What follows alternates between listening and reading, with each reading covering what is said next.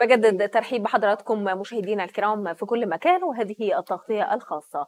وزارة التموين والتجارة الداخلية لديها الجديد حيث يستمر موقع دعم مصر في تلقي طلبات أصحاب بطاقات التموين لتسجيل رقم التليفون المحمول حتى نهاية شهر يوليو الجاري. كما يتم التسجيل أيضا عبر بوابة مصر الرقمية مجانا بشرط أن يكون الرقم مسجل باسم صاحب البطاقة رب الأسرة مع عدم تقديم أي مستند يثبت ملكية التليفون. وكشف أيضا تقرير لوزارة التموين والتجارة الداخلية أن الهدف من تسجيل رقم الهاتف على بطاقات التموين يهدف إلى سهولة تواصل الوزارة مع أصحاب البطاقات التموينية لتعريفهم بالخدمات الحالية أو بالخدمات التي قد تستعد الوزارة لإتاحتها لهم.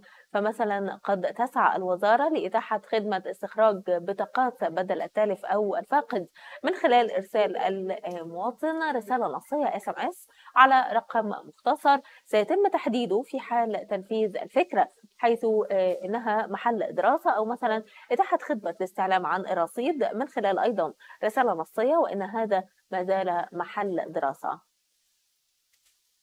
من يمتنع عن تسجيل رقم المحمول على البطاقات خلال الفترة المقررة؟ لن يستطيع الحصول على خدمات استخراج بطاقات بدل التالف أو الفاقد أو أي خدمات قد تصدرها وزارة التموين فيما بعد إلا بعد تسجيل رقم الهاتف حيث تستقبل وزارة التموين والتجارة طلبات أصحاب البطاقات التموينية لتسجيل رقم المحمول ضمن بيانات البطاقات على موقع دعم مصر وكذلك على بوابة مصر الرقمية وذلك للتيسير على المواطن في الحصول على الخدمات الخاصة بمنظومة دعم الخبز والتموين إلكترونيا دون الحاجة. إلى الذهاب إلى مكاتب التموين كما تتيح الوزارة من خلال موقع دعم مصر بتتيح أيضا إصدار بطاقات التموين بدل فائد أو تالف شريطة أن يكون صاحب البطاقة مسجل آه، لرقم المحمول الخاص به ضمن بيانات بطاقات التموين حيث آه، لو شخص لديه بطاقة تموين وفقدت آه، يعني لا يستطيع إصدار بدل تالف أو فاقد إلا بعد تسجيل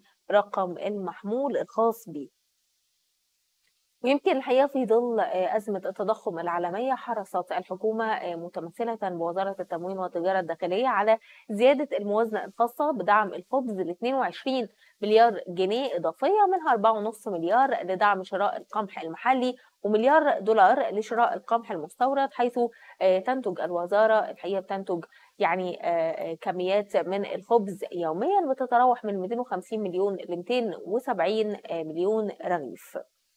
أيضا أكد الدكتور علي المصلحي وزير التموين والتجارة الداخلية أن المواطن يحصل على الخبز البلدي المدعم من خلال بطاقة تموين بسعر خمس قروش فقط واستمرار آه، تحمل الدولة فرق تكلفة الإنتاج وسدادها لأصحاب المخابز حتى بعد تحريك سعر السولار من خلال هيئة السلع التموينية ويأتي ذلك في إطار حرص وزارة التموين والتجارة الداخلية على توفير الخبز البلدي المدعم على بطاقات التموين وصرفه للمواطنين بشكل منتظم.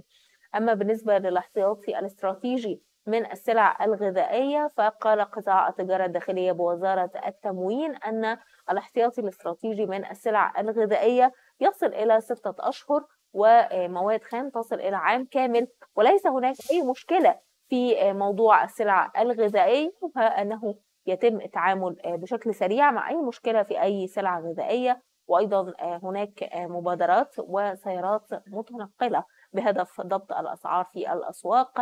ذلك إلى جانب أننا نوفر المنتجات والسلع الغذائية بأسعار مخفضة وليس لدينا أي أزمة في السلع بسبب الحرب الروسية الأوكرانية. هذه كانت كافة التفاصيل بشكر حضراتكم. شكرا جزيلا لطيب المتابعة وانتظرونا في تغطيات ومتابعات جديدة على مدار اليوم. شكرا لكم وإلى اللقاء.